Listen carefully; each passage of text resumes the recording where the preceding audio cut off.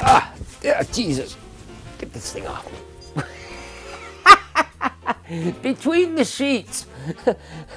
A suggestive name indeed. Maybe not as risque as the Screaming Orgasm or the Silk Panties cocktail, but where did that name originate anyway? Maybe if you had too many of them, you'll wind up between the sheets. what I do know is that this sexy little drink dates back either to 1920s London or 1930s Paris, depending on which version of history you choose to believe.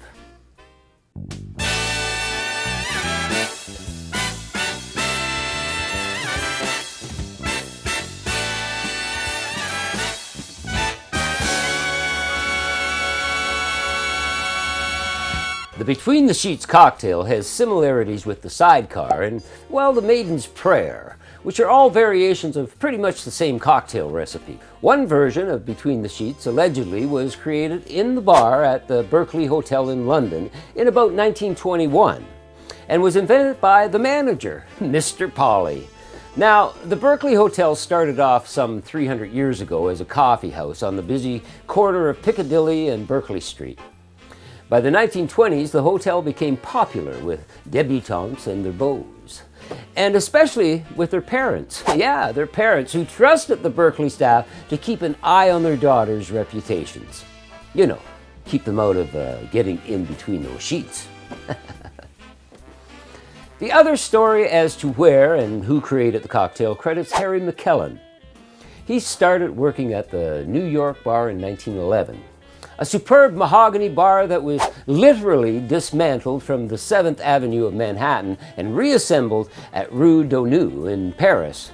By 1923, Harry MacElhone bought that bar and renamed it Harry's New York Bar.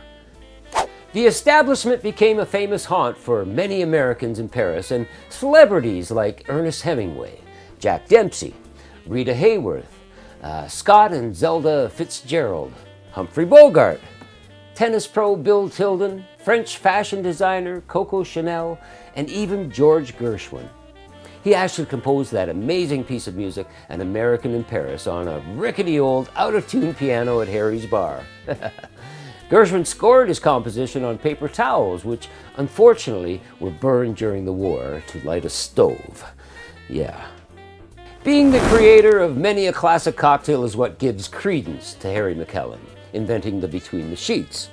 Harry is often credited with inventing the Bloody Mary, the Monkey Gland, an early version of the French 75, the White Lady, Old Pal, and possibly, possibly the Boulevardier. Though that wasn't a creation of Harry's, but actually a, a regular patron of the bar, writer uh, Erskine Gwynne, who edited a magazine called The Boulevardier. Harry was simply the first to mix it up for him and from 1922, possibly one of the original sidecar recipes, which was merely a riff on the brandy crusta. So why not the between the sheets? it too is simply a variation of the sidecar. There are lots of related drinks to the between the sheets cocktail. I guess because the sidecar was so popular, it spawned many similar drinks like the Embassy cocktail and the Boston sidecar.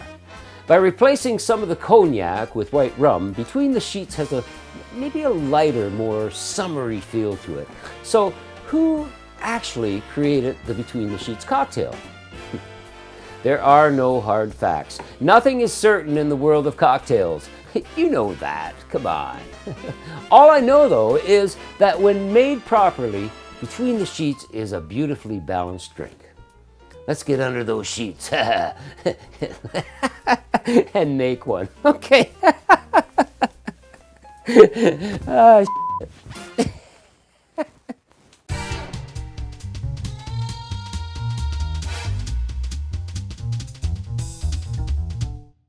going to make between the sheets. First thing we want to do is we want to chill up our uh, cocktail glass, okay? Just a little bit of ice, maybe a little water, not really necessary, but hey, it's what I do, right? Anyway, we're gonna grab our shaker and we're gonna start with cognac. Yeah, I've got some nice Hennessy right here. Um, yeah, it's a, it's a VS.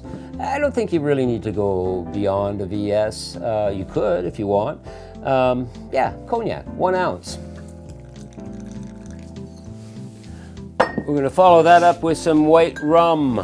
Bacardi is always a good choice, one ounce.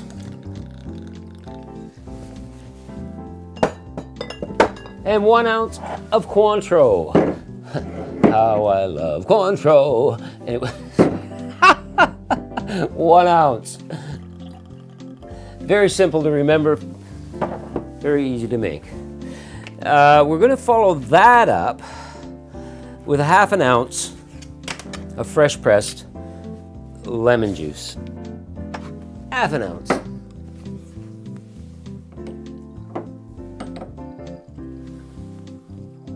I'm in. It sure don't take much, does it? Yeah. Okay. Uh, add some ice.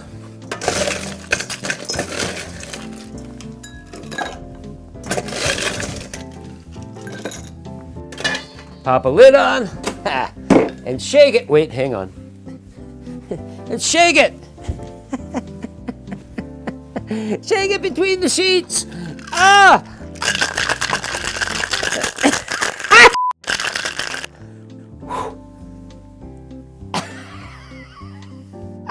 Why I did that. okay, uh, we're gonna get rid of this ice, chilling our glass. And uh, all we're gonna do, where's my strainer? There it is. All we're gonna do is fine strain into our uh, chilled cocktail glass here. Nice.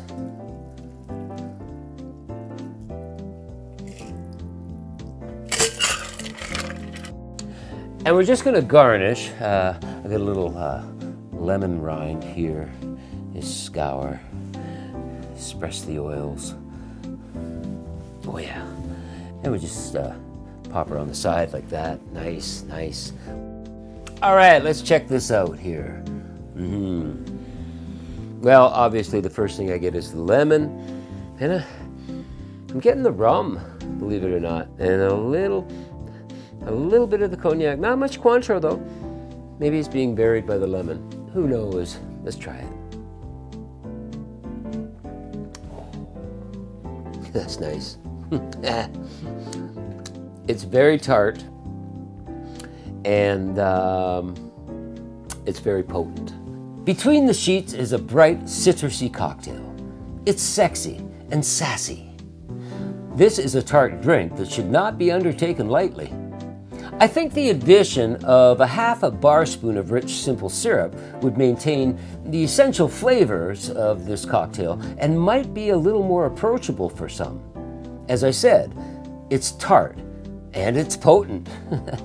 Definitely a couple of these and you'll wind up between the sheets, guaranteed. But it's, it's very crisp, it's very nice. It's summery, um, but it is strong. It's a strong drink, guys. Enjoy it!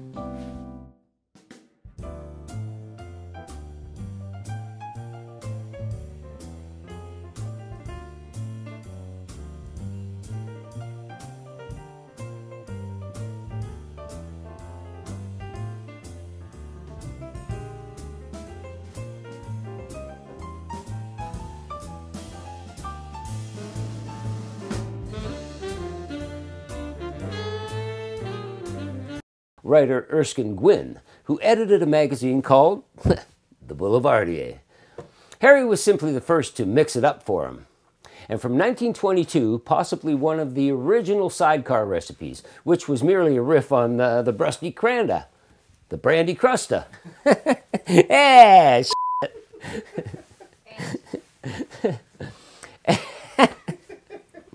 Here's your freaking blooper, isn't it?